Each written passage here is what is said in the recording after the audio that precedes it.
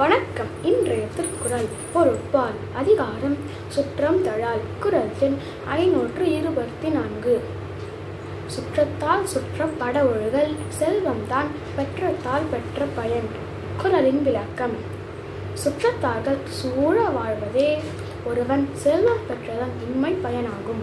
நன்றி.